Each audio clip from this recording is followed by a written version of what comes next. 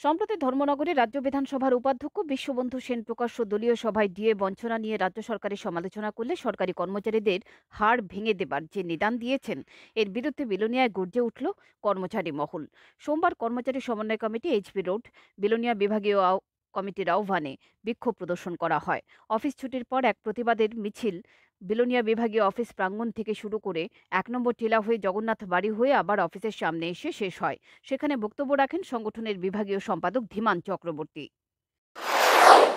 রাজ্যের বিধানসভার উপাধ্যক্ষ, উনি শিক্ষক কর্মচারীদের লড়াইয়ের মাধ্যমে যে অধিকার তৈরি হয়েছিল, সে অধিকার নিরিখে লড়াই আন্দোলন করা, তার ন্যায্য পাওনার ক্ষেত্রে কথা বলার যে অধিকারটা ছিল তা হরণ করার জন্য রাজ্যের একটা উচ্ছৃঙ্খল পর্যায়ে যুবকদের হাতে শিক্ষক কর্মচারীদের উপর আক্রমণ করার জন্য যে নিদান দিয়েছেন, তার প্রতিবাদ জানিয়ে আজকে আমরা এই বিক্ষোভ প্রদর্শনী সভার মিলিত হয়েছি।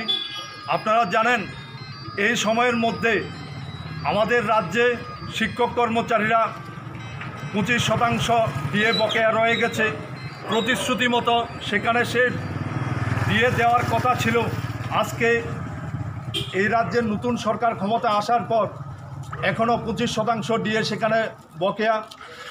যে কঠিন করোনা বিধি চলছিল, সেই জায়গার মধ্যে দাঁড়িয়ে শিক্ষক কর্মচারীদের দ্রব্যমূল্য বৃদ্ধি হওয়ার ফলে তাদের যে বেতন এবং ডিএ ক্ষয়িষ্ণু হচ্ছে, সেই ক্ষেত্রে দেখলাম দেশের সরকার সেখানে ডিএ ঘোষণা করছেন আর আমাদের রাজ্যে সেখানে ডিএ দেওয়া হচ্ছে না।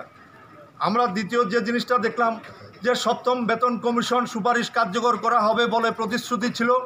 সেই প্রতিশ্রুতিও কিন্তু আজকের দিনে সেখানে কার্যকর হয়নি এবং সেখানে অর্থনৈতিক অনেক বকেয়া সেখানে রয়ে গেছে যেগুলোর জন্য আজকে আমরা এখানে বিক্ষোভে মিলিত হয়েছি।